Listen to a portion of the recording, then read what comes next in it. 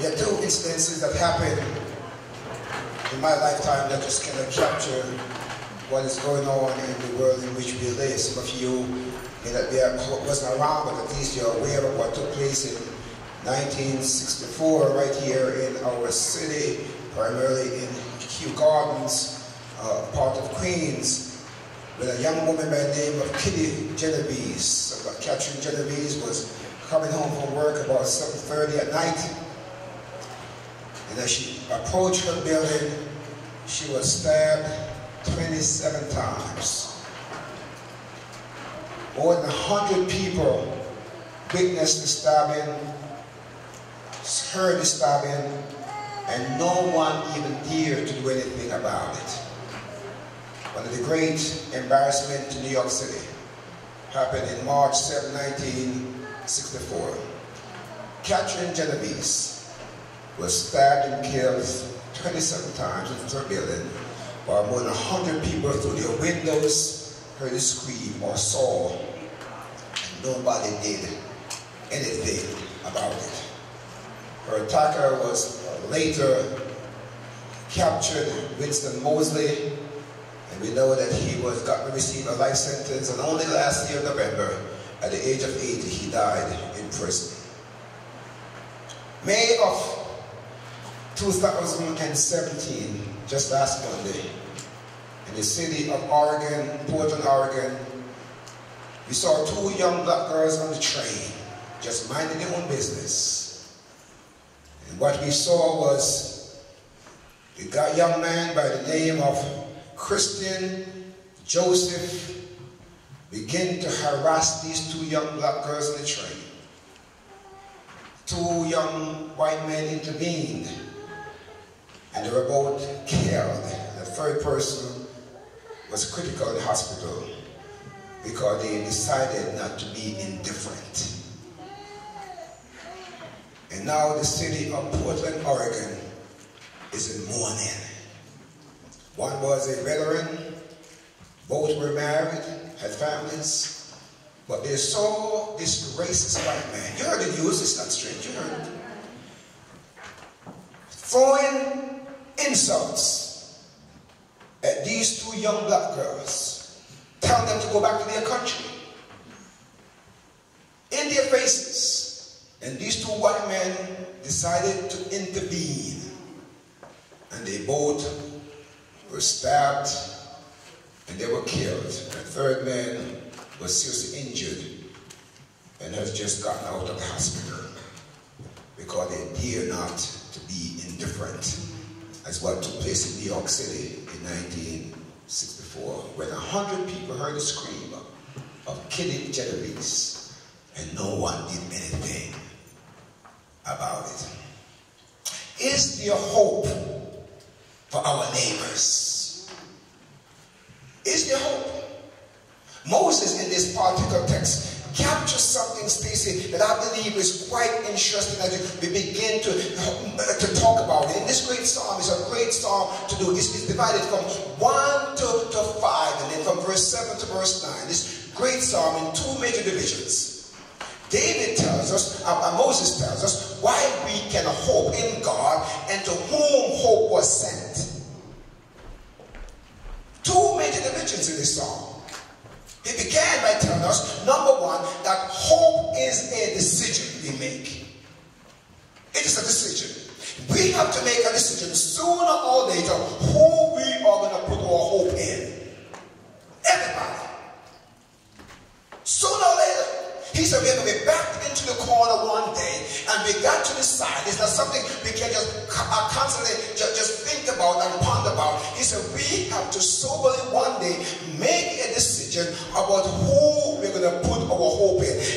in verse 1 and 2, he was very clear in his own decision. He said, I am going to put my hope in who? In God.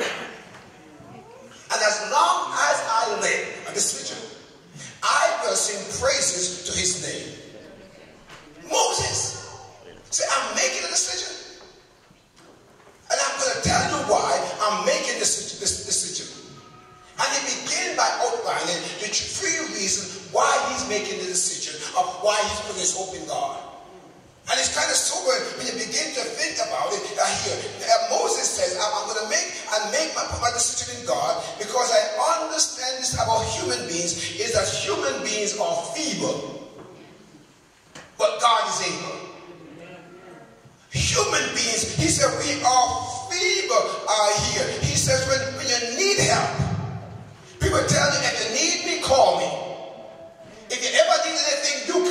keep a number. When you come to America from Berbice, look me up.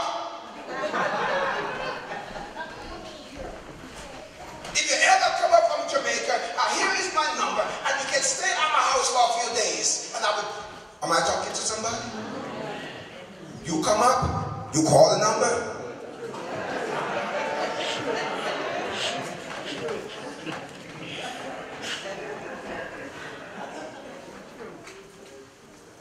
People will tell you, if you ever a jam, keep my number.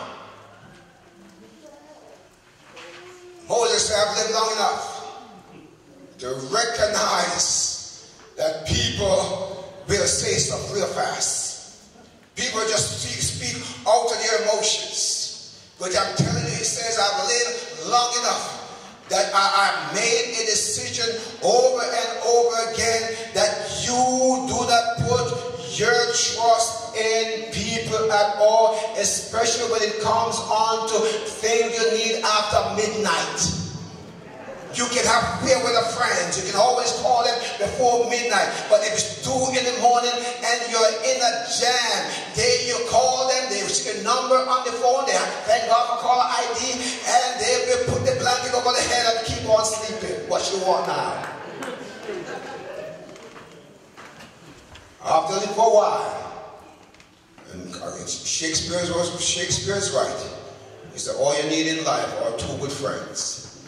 If you have more than two, you are too needy. Nothing wrong with having acquaintances, but you want to know who are your midnight friends. If you call them after midnight, they will say, be right over. No question asked. Moses testified that people are feeble. But he said, let me tell you about God. God is able. He doesn't sleep or he doesn't slumber.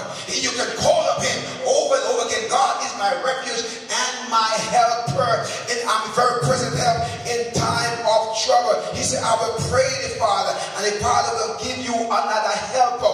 All through scripture, God said, I am your help. In the midnight hour, you can call on me and you can testify. And the people can testify that God is always there. He says, you can trust in God. You can hope in God because God is your helper. He's able. He's able to do what you ask him. And then he move on to give his second reason why he's putting his, his hope in God. He said, human beings are mortal. But God is what? Eternal. From verse 3 and 4. He said, let me tell you this about, about, about, about people. He said, no matter what plans you have, whenever, he, he explained to us, whenever you die, your plans die in your grave. Dies in your grave. To take to your grave every plan you have. But God plans move from generation to generation. It is not, it's not, it's not just involved in one person it is able to survive generations.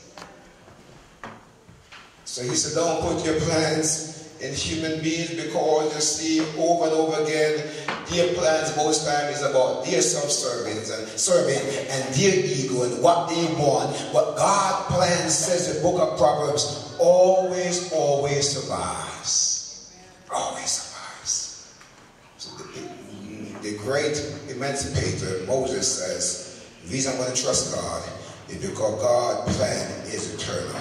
Then he moved to a, a third movement in giving the third reason for it. He said, not only uh, is it mortal, not only is, is, is, God's plan eternal, not only is God evil, but human uh, reasoning is perishing. Please understand this. This is really on target. And God's will and God's truth endure forever. Human reasoning is temporary. Human reasoning is, is perishing, while God's truth is forever. I took some time to speak to read the Paris Agreement, and I don't need to go way off. 90 countries came together to make an agreement about the environment. 90 countries. Listen to me carefully. Each country decided how that country was going to take care of that country when it come on to reducing the emission. Each country. Every country, name it. They made agreement that they were going to, in their own particular way, was going to address the needs of that country, how and when that country wants it. The impression given uh, by, by, our president was that there was an international body and then people are going to lose jobs on the international level because this is somehow anti-American. It's a lie from hell. Read it for yourself. America decided how we are going to reduce the emission control by ourselves. Different from the Chinese, different from France, different from Thailand, eh, from London. Everybody decided individually. Had nothing to do with jobs.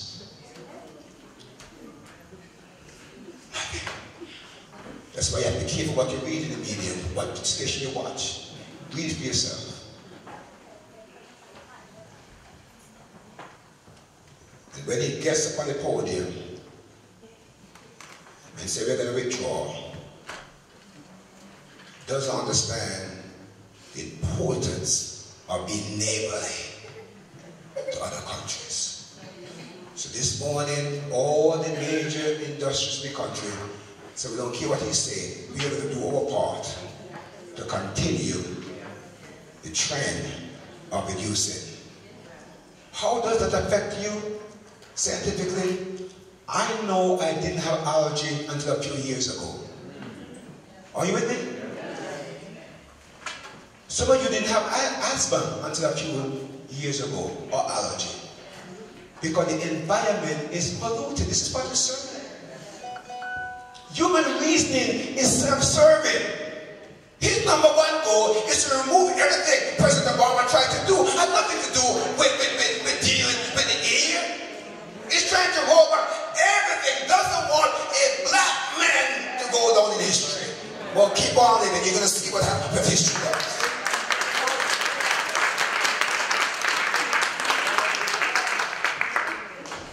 Watch history. Human reasoning, says, says uh, Moses, human reasoning perishes. But God's truth endures forever. So Moses, in the first part of the psalm, said, I'm going to hope in God because God is my helper. I'm going to hope in God because deep down, God is eternal. I'm going to hope in God because God's truth endures to the end. And then from verse 7 to verse 9, as I close, he tells you who need hope. Who needs hope? And when you read from verse 7 to verse 9, he begins this long analysis of all the people who need hope. He says, make sure when you do hope, oppressed.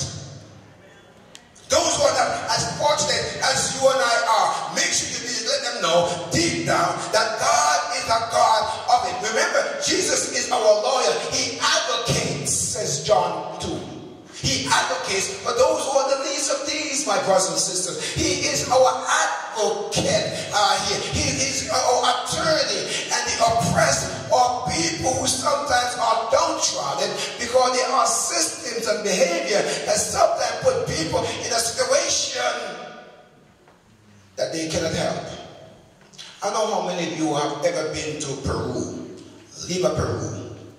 We should have known if you have gone to Lima, Peru, there is what is called in Lima, Peru, the, the, the, the, wall of shame. There is a 10 feet wall for there is seven miles. It's worth seeing for yourself to see wow, the, the, the wickedness of people's hearts. On one side of, of, this wall is called the, the wall of shame in Lima, Peru, are, are, are, people who are extremely poor. Really poor. On, on this other side are million dollar homes. And there's a wall that separates the people who are desperately poor and those who are the millionaires. A major war with a major gate. And that's where we get the idea, Stacy, that I want to live in Florida in a gated what? Talk, talk back to me. Pastor, I live in Guyana in a gated community. I have just moved back to Jamaica, Pastor, and I am living in a gated amongst the people. I, I am gated. And I have to push them in and push them out. I have made it. I'm talking to you because what you do, your house in Guyana is in a gated. And it, it, gives you a sense of, I'm right. We should have known from Germany when they break down the wall in Berlin that Christ says nothing should separate us. No war between us strong. No male or female, rich or poor, we're all one in Christ Jesus. And now you want to build a wall to separate the people again.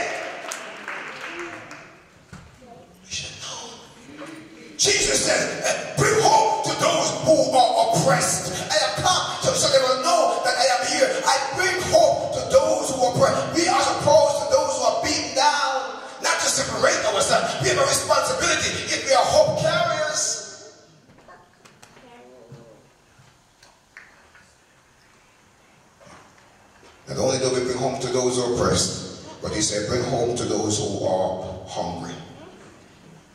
We did yesterday, we do it every single week. More than 500 people get fed from this church every single Thursday. We don't have to preach them, all we're saying to you, because you need to know that nearly every, nearly a billion people in this world go to bed every night starving to death. A billion people. And it's hard to believe that even in New York here, while the restaurants are throwing away food, the children, and that's why City Harvest as an organization becomes so important. They go around to the hotels and the restaurants and collect food and make sure that our people are fed. Because Jesus says, this is Moses speaking in the Psalm. This is Psalm now, this is not New Testament. He says, Jesus came for those who are oppressed, but he also, God came for those who are oppressed, but he also came for those who are hungry. Psalm 46. Psalm. To those who are hungry, he came. Not only do he come for those who are hungry, but he also come for those who are prisoners that there is an organized, systematic system. And you have heard our new Attorney General. He said, what we're going to do again is to go back to the old Rockefeller law and just lock them up. We're going to go back to the old thing. Lock them up. And throw in the key. People who go to prison don't come out oh, uh, uh, uh, better, they come out worse. Because the system in the prison. No rehabilitation, no preparation, no education. Go back and just lock them up. That's the answer. Jesus says, for those of us who still are hope carriers, don't forget the prison. How do you know? He says, I was in prison I was hungry and you what? You fed me not. That's part going to be our, our analysis, our, our trademark when we stand before God. And this is Psalm speaking to us. Psalm 146. Uh, he's, don't forget the prisoners and the system that caused people to live in such a de, uh, dehumanizing condition. He said, don't forget those who are challenged physically or mentally. They use the word in this context, the word blind.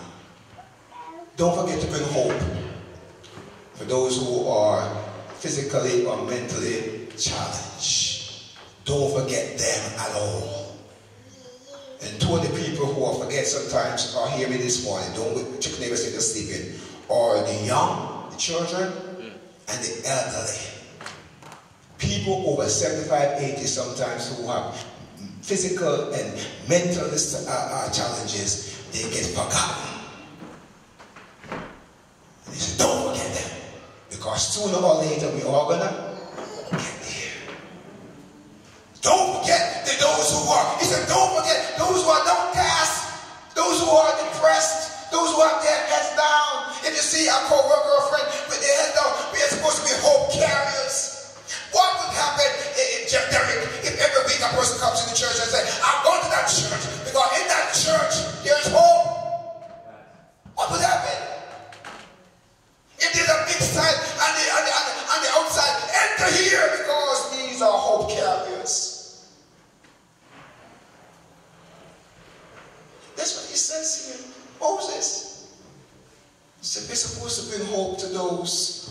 who are downcast. And you saw the word. He said, bring hope to the foreigners, the immigrants, the aliens who sometimes feel so insecure. They can't tell you their status because they're afraid if you can tell your status, you may one day call immigration on them. I'm telling the truth. They, they kind of fear that people live in sometimes in that reality. It's for real. And we embrace them, let them know that there's hope. Treat them with dignity and class. Watch how you treat strangers, the aliens and the immigrants because they come. All of us are immigrants anyway. Mr. Trump, your mama didn't born here.